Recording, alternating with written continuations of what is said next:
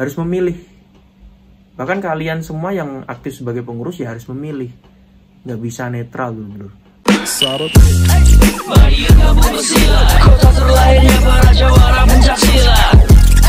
Sugeng dalu dulu dulu selamat malam. Semoga hari ini menjadi berkah buat kita semua dan apa pun yang kita lakukan. Semoga diberikan kemudahan oleh Tuhan Yang Maha Esa.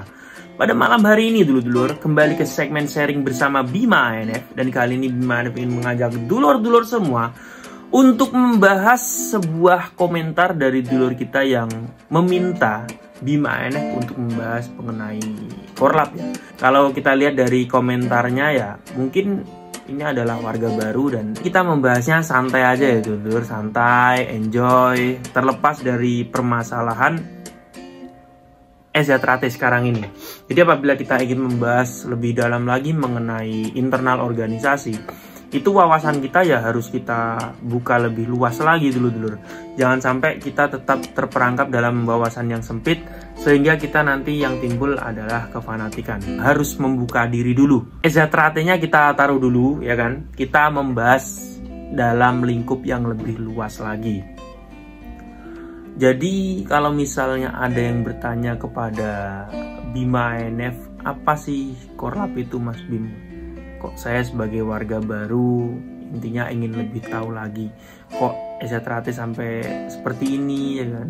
Terus Pamter itu apa ya kan? Mungkin bisa kita jelaskan sekalian karena mumpung pembahasannya soal itu pasti tidak lepas dari Pamter juga kalau kita membahas korlap ya dulu-dulu. Karena memang divisi ini merupakan divisi yang sejak dulu itu keberadaannya menjadi garda depan dari organisasi persaudaraan Setiati Terate. Jadi seperti ini dulu-dulu. Saya dulu masuk latihan itu tahun 2008 dan disahkan di Terate tahun 2013. Nah, kalau misalnya nggak percaya dulu-dulu, tanyakan ke pelatih saya dulu-dulu. Beliau juga jadi tim teknik DKP beliau masih sehat sampai sekarang masih aktif alhamdulillah ya jadi mungkin dulu nggak percaya masa latihan selama itu ya kan. Jadi dulu sebenarnya saya latihan pengesahan tuh tahun 2011 tapi karena ada kendala tahun 2012 saya tunda. Tunda itu nggak nggak vakum dulu dulu tetap pelatihan ya kan. Terus 2013 juga masih aktif hingga disahkan. Nah selama saya menjadi siswa Eza saya kan titik kumpulnya kalau di Rayon Muneng, Ranting Pilang Ngenceng, DKP Madiun.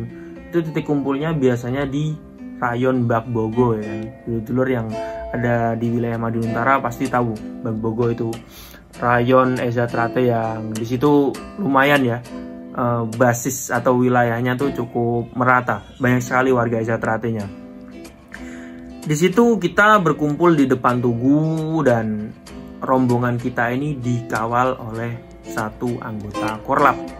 Nah, memang anggota korlap yang sampai sekarang ini kita lihat atributnya dulu-dulu.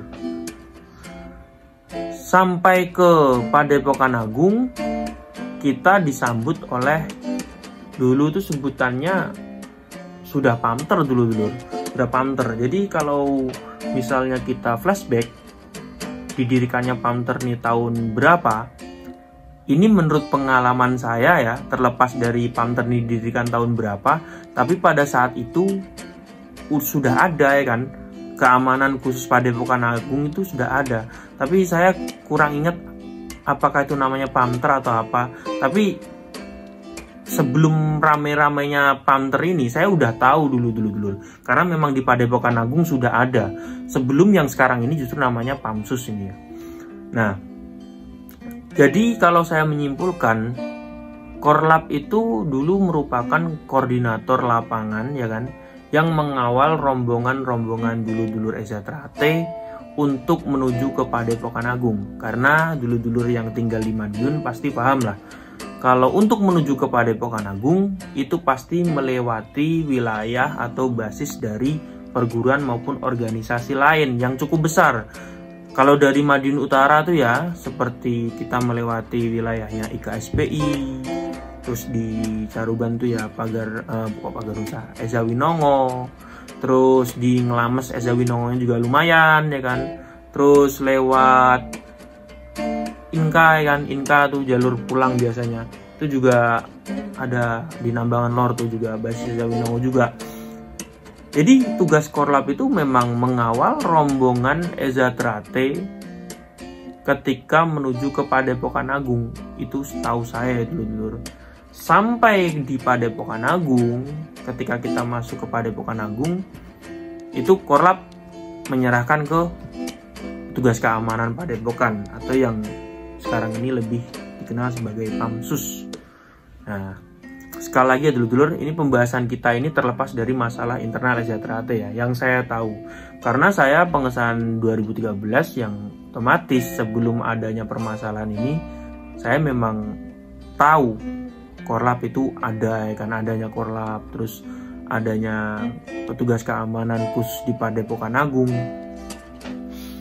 Nah, di sini mungkin yang ditanyakan dulu-dulu juga apa sih bedanya antara korlap dan pamter ya. Kalau setahu saya, setahu saya korlap itu tidak tercantum di ADART. Kalau pamter itu diatur dalam ADART hasil Parlo 2017 ya. Kalau korlap bahkan di ADART 2016 ya kan Parlo yang memutuskan Mas Taufik sebagai ketua umum itu pun tidak diatur dalam ADART. Nah, seperti itu. Di sini kita tidak akan menjurus ke masalah internal ya. Dulu Korlap tuh uh, hingga berselisih dengan apa?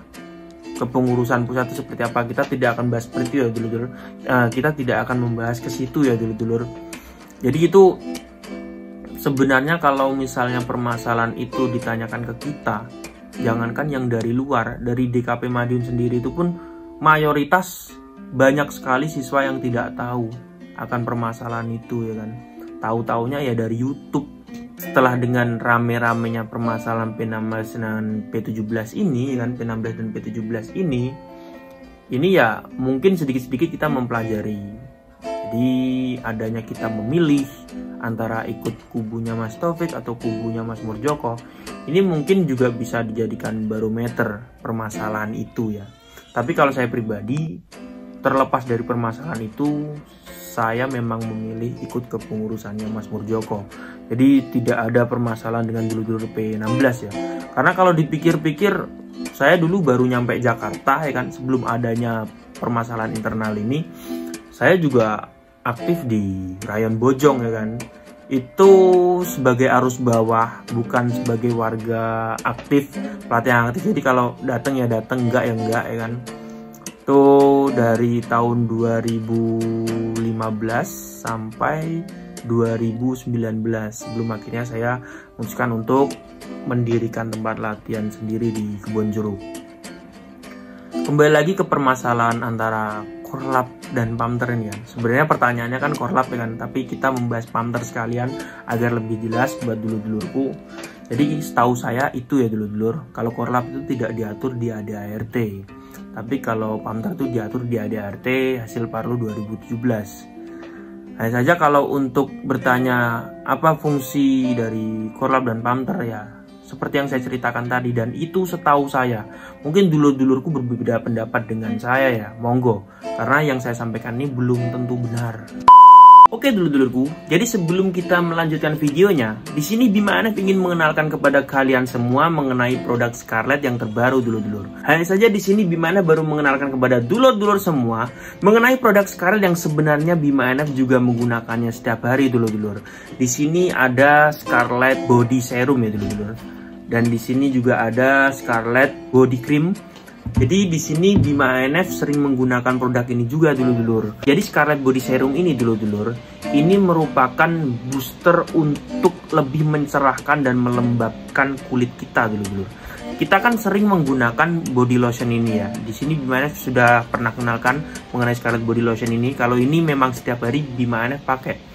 Hanya saja yang baru Bima ANF pakai yang body cream ini. Jadi ternyata kalau untuk kegiatan di dalam ruangan intinya tidak bersinggungan langsung dengan sinar matahari, di sini kita direkomendasikan untuk menggunakan yang body cream ini.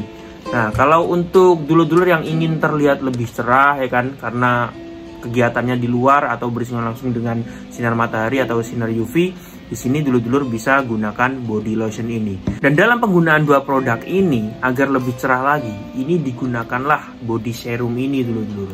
Ini menurut saya keren sih dulur-dulur. Karena biasanya kan serum itu kan bening ya kalau untuk wajah itu. Ini bentuknya kayak krim. Nah, ini bisa kita lihat dulur-dulur tuh. Nggak ada bedanya sebenarnya sama body lotion sama body cream ini tapi kalau setelah dipakai kelihatan bedanya dulu-dulu. Nah, ini kenapa di sini Bimanef tampilkan body scrub juga karena apabila ingin lebih maksimal lagi ya, kita gunakan body scrub ini atau lulur ini dulu-dulu. Jadi kita ketika mandi kita menggunakan lulur dari Scarlett ini. Lalu setelah mandi kita gunakan body serum ini.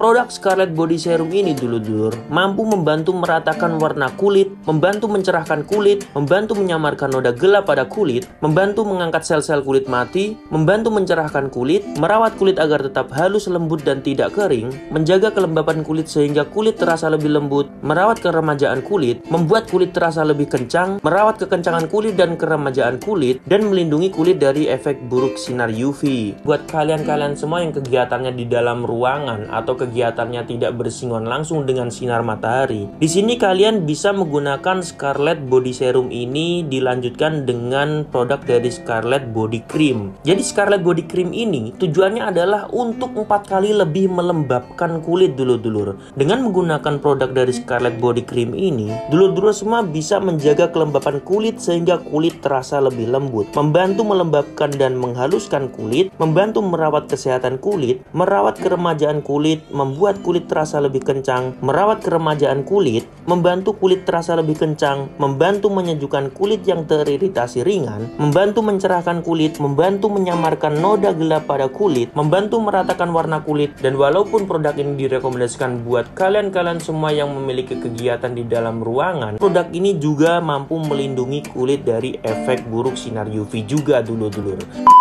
satu abad sudah terlaksana, sudah selesai acaranya ya kan. Harusnya kita lebih dewasa lagi dalam menanggapi permasalahan internal organisasi ini kan. Banyak yang berkomentar, harusnya nggak usah dibahas sosial media gini gini gini.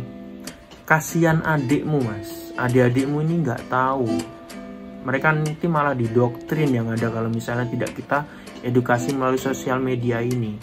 Kita tunjukkan saja kalau misalnya permasalahannya seperti ini loh sikap kita harusnya seperti ini loh. Adik-adik kita ini kan pengesahan kan bayar dulu lah ini uangnya ngarahnya ke mana? Itu kantongnya udah beda administrasinya sudah beda. Ya mungkin pembahasan kita mengenai korlap dan pamter seperti itu dulu dulu. Ini sudah pernah saya bahas sebenarnya. Saya sudah punya uh, sudah bikin video dan lumayan nonton berapa ratus ribu itu. Tapi saya take down sendiri ya kan karena itu adalah video yang saya buat ketika saya benar-benar masih menjadi arus bawah dan sama sekali tidak paham mengenai masalah internal organisasi ini. Tapi sekarang ini ya insya Allah apa yang saya sampaikan ini sesuai dengan masalah yang ada di organisasi kita ini. Jadi insya Allah bisa dipertanggungjawabkan lah monggo apabila yang saya sampaikan ini salah ada kelirunya bisa dikoreksi di kolom komentar atau ditanyakan kepada pengurus-pengurus organisasi di tempat Anda. Apakah kita ini sudah berbeda? Apakah kita ini sudah tidak satu kepengurusan dan sebagainya? Monggo silahkan ditanyakan. Dan seperti yang disampaikan oleh beberapa konten kreator kalau untuk disatukan memang berat dulu dulu memang sudah sulit karena ya, ini kita tadi bahas kolab sama pamter jadinya merembet ke kepengurusan ya. Karena memang diabel tidak istilahnya maskotnya ya itu ya kan. Karena ini kaitannya sama circle atau loyalis. Jadi setiap kubu itu memiliki loyalis masing-masing. Apa pilihanmu sekarang? Ikut siapa? Ikut kepengurusan siapa? Ya udah monggo itu hak anda ya kan apalagi warga-warga baru kita tidak bisa memilih untuk ikut kepengurusan yang mana. Dia kita jalani aja yang yang kita yakini benar saat ini. Ke depannya kita bisa berubah kan tidak ada yang tahu ya kan. Kalau saya pribadi ya karena saya asli Madiun saya juga pengesahan DKP Madiun. Ya yang saya ikuti ya di Padepokan Agung harus memilih. Bahkan kalian semua yang aktif sebagai pengurus ya harus memilih. Nggak bisa netral dulu karena adik-adik kita ini punya administrasi terhadap organisasi tanggung jawab administrasi terhadap organisasi. Ini harus jelas harus transparan seperti itu dulu Oke dulu-dulu mungkin jawaban saya mengenai korlap dan pamter yang sebenarnya saya sudah pernah membuat video seperti ini ya kan. Tapi ini versi dengan saya yang sudah sedikit memahami masalah internal organisasi ini. Kalau dulu kan belum bener-bener arus bawah. Kalau arus bawah tuh nggak tahu sama sekali dan tidak mau tahu masalah internal organisasi. Yang diomongan yang yang dia tahu ya kan. Tapi setelah kita pahami masalah organisasi ini pasti akan nyambung. Video ini tujuannya hanyalah untuk menjawab pertanyaan dari dulur kita yang bertanya apa sih korlap itu ya mas terus apakah pamter itu ya kan jadi intinya hanya menjawab pertanyaan dari dulu-dulu kita Oke dulurku, semoga video sharing kita malam ini bermanfaat. Dan sekali lagi tetap jaga pas duluran ya. Yang pertama atau yang utama itu pas duluran. Oke dulurku, terima kasih sudah menonton video terbaru dari Bima ANF. Dan sampai jumpa di video ANF yang selanjutnya. Salam syarat Mari kita bunuh silat Kota terlahirnya para jawara pencak silat Mari kita bunuh silat Pusat terbesar yang ada di dunia pencak silat Mari kita bunuh silat Cepat berkembang besarnya olahraga pencak silat Mari kita bunuh silat Di sini tempat para pemberani bukan penjilat